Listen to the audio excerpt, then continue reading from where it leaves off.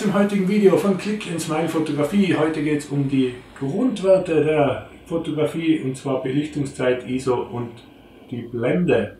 Wir beginnen mit dem einfachsten dieser drei Werte, das wäre der ISO-Wert. Was ist der ISO-Wert? Der ISO-Wert beschreibt die Empfindlichkeit des Sensors an der Kamera. Sprich, je höher der ISO-Wert ist, desto empfindlicher ist der Sensor und desto heller wird das Bild und je niedriger der ISO-Wert ist, desto unempfindlicher und dementsprechend dünkler wird das Bild. Beispiel ISO-Wert 200 ist, ergibt ein dünkleres Bild als ein ISO-Wert 800 Bild. Immer unter der Voraussetzung, dass die anderen beiden Werte nicht geändert werden.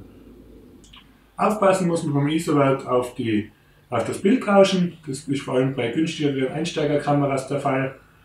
Je höher der ISO-Wert wird, desto mehr Bildrauschen entsteht im Bild. Bei den höherpreisigen und Profikameras ist das Problem noch nicht mehr so. Da kann man schon ein bisschen mit dem ISO-Wert rauffahren, bevor das Bildrauschen einsetzt. Wert Nummer 2, Belichtungszeit. Auch ganz klar, je länger man belichtet, desto heller wird das Bild, je kürzer man belichtet, desto dunkler wird das Bild. Als Beispiel fotografieren wir einen Fußballer, der gerade einen Ball schießt. Ball ist leicht unscharf, man sieht, dass es einfach zu lang belichtet ist und der Ball schon eine Bewegungsunschärfe aufweist. Was machen wir? Wir gehen mit der Belichtungszeit hinunter, belichten statt der 500 Sekunde zum Beispiel eine Tausendstel Sekunde, also halb so lang. Das Bild wird dann automatisch dunkler werden. Was kann man tun? Zum Beispiel ISO-Wert wieder nach oben und das Bild wird wieder eingehalten und hat wieder die gleiche Helligkeit wie zuvor. Der letzte Wert, die Blende, ist das umfangreichste der drei Werte. Werde ich im nächsten Video ein bisschen genauer drauf eingehen. Also schaut beim nächsten Mal wieder rein, da geht es um die Blende. An dieser Stelle sei gesagt, je niedriger der Wert ist, desto mehr Licht kommt durch und desto heller wird das Bild. Und je höher der Wert ist, desto weniger Licht kommt durch und desto dunkler wird das Bild. Also ist ein bisschen verkehrt rum, ein bisschen eine Zwickmühle, muss man sich einfach im Hinterkopf behalten, dass zum Beispiel Blende 8 mehr Licht durchlässt und ein helleres, Licht ergibt, helleres Bild ergibt als eine Blende 8, wo einfach weniger Licht durchkommt.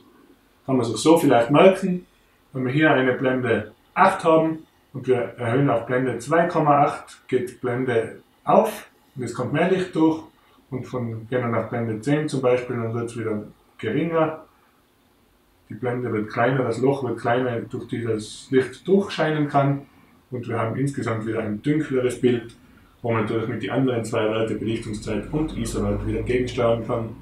Aber das wird dann ein Thema in anderen Videos sein. Wie gesagt, nächstes Video die Blende, da gehen wir genauer drauf ein. Wenn euch das Video heute gefallen hat, freut mich, würde mich freuen, wenn es einen Daumen nach oben gibt. Abonniert den Kanal, dass kein Video mehr vergesst, vergesst, äh, verpasst.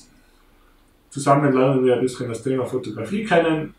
Würde mich freuen, wenn ihr das nächste Mal wieder dabei seid. Bis zum nächsten Mal. Alles Gute. Vielen Dank. Ciao.